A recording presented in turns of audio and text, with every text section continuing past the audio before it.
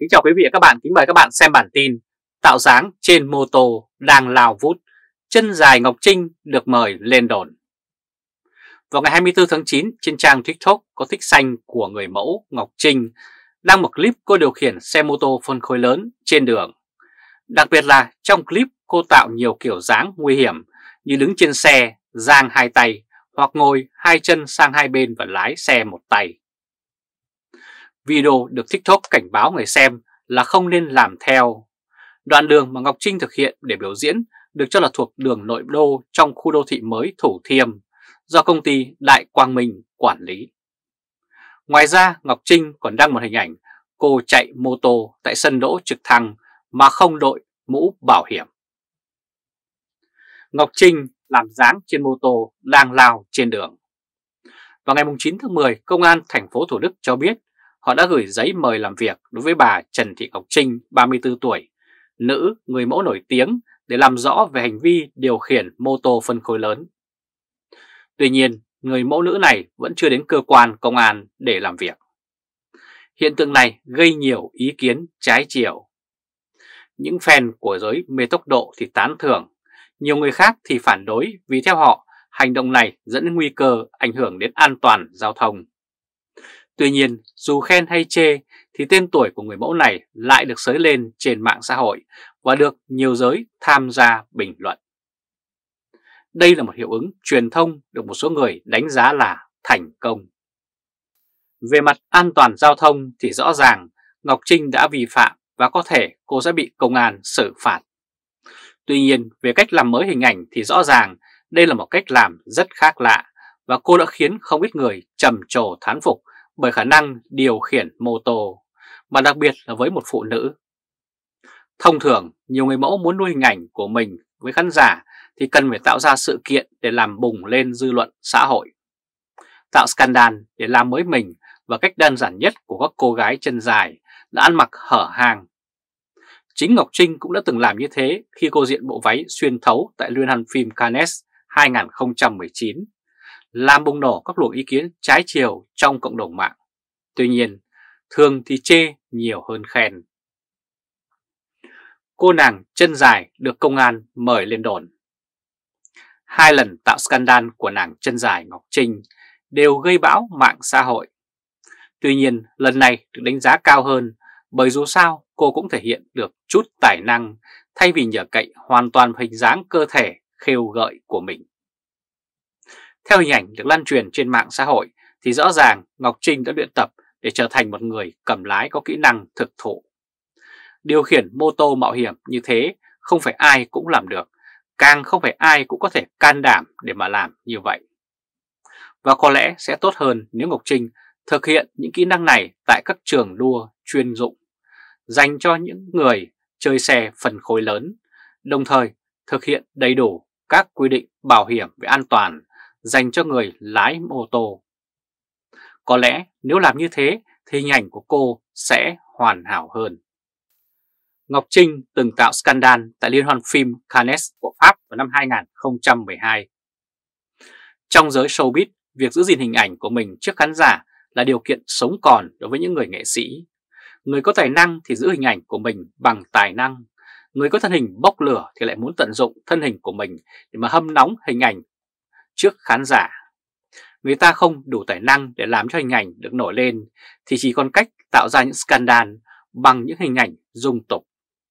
Tên tuổi được nổi lên lại được lưu truyền xấu hay làm không bền. Ở xã hội Việt Nam có nhiều người muốn nổi tiếng, nhưng số người có tài năng thực sự thì không bao nhiêu. Vì thế mới thường xuyên xuất hiện những scandal làm hình ảnh tiêu cực đến xã hội. Cũng có khi giới showbiz của Việt Nam chẳng mang lại giá trị tinh thần gì nhiều đến với xã hội, mà ngược lại họ còn nêu tấm gương xấu cho giới trẻ. Những người chưa đủ vững để miễn nhiễm trước những cái xấu nhàn nhản trước mắt họ. Quý vị và các bạn vừa theo dõi chương trình truyền hình trực tiếp của Thời báo chấm với bản tin Tạo dáng trên mô tô đang lao vút, chân dài Ngọc Trinh được mời lên đồn. Quý vị và các bạn hãy chia sẻ video này cho nhiều người biết và bấm nút theo dõi YouTube và Facebook của Thời báo chấm để luôn được cập nhật những bản tin mới nhất, nhanh nhất và trung thực nhất. Từ Berlin, Cộng hòa Liên bang Đức chào các bạn và hẹn gặp lại các bạn ở bản tin lần tới. Trung Khoa Thời báo chấm đề. Kính chào quý vị và các bạn, kính mời các bạn xem bản tin hất dân ra rìa để thu vén lợi ích riêng, rồi vu cáo phản động, chia rẽ dân với đảng. Đã nhiều năm qua, ngành công an vẫn vắt óc suy nghĩ để tạo ra những vở kịch truyền thông về những tấm gương giả tạo của công an. Theo luật tự nhiên, khi người ta thiếu thứ gì thì sẽ khao khát thứ đó. Công an Việt Nam phải đi ăn mày những hình ảnh giả tạo về một thứ lòng tốt của lực lượng công an, thì điều đó chứng tỏ ngành công an đang thiếu lòng tốt và sự tử tế. Mỗi khi truyền thông rầm rộ tung ra hình ảnh công an giúp người già qua đường, giúp nông dân gặt lúa, giúp học sinh đi thi đúng giờ, vân vân, thì đấy cũng là lúc họ cảm nhận bị người dân khinh ghét. Mà người dân thì rất công bằng, ai bảo vệ dân thì dân thương, còn ai là hung thần với nhân dân thì dân ghét, chỉ đơn giản có vậy. Ác với dân thế này thì chịu sao nổi đây. Vào hồi năm 2016, trong chương trình Sinh viên 2016, sinh viên trường Đại học Sư phạm Hà Nội đã đưa ra câu hỏi là con sâu gặm tiền đối với cụm từ viết tắt cảnh sát giao thông. Cho một tình huống nói về tham nhũng. Cách ví von này khiến cả xã hội tán thưởng vì nó quá đúng. Tuy nhiên, ngành công an bị nhột và họ cũng đã có rất nhiều bài phản đối trên truyền thông bởi ai cũng biết cụm từ cảnh sát giao thông là viết tắt của cảnh sát giao thông CSGT. Ông Nguyễn Phú Trọng từng có câu nói nổi tiếng rằng ta phải như thế nào thì người ta mới như thế chứ. Rõ ràng lực lượng cảnh sát giao thông phải thế nào thì sinh viên mới ví von như vậy. Vào ngày 8 tháng 10, tờ báo VOV có bài viết với nội dung kích động chia rẽ lực lượng công an với dân, với đảng là hành vi thâm độc.